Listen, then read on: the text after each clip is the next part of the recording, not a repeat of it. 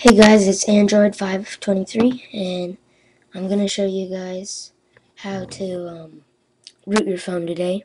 It's going to be really easy and all you have to do is first thing go to Google search and type in fullshared.com.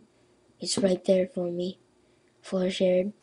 Click on the first one where it says free file sharing and storage then you're going to have a search bar. And you're doing this on your phone. And you're going to have a search bar. And then you're going to type in, on that search bar, you're going to type in ginger, wait, ginger break, right there. And then you're going to hit search. And it'll load. And then you're going to hit this one, the first one right here.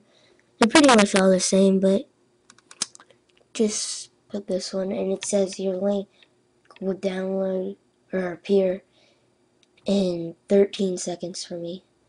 And so you just wait and then it'll download.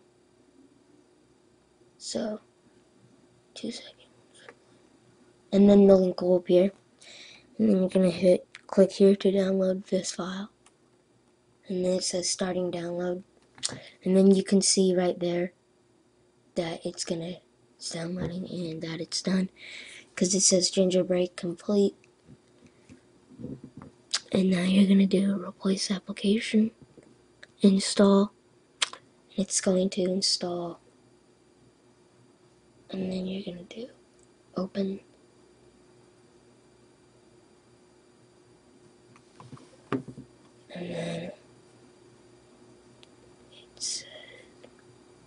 just say okay.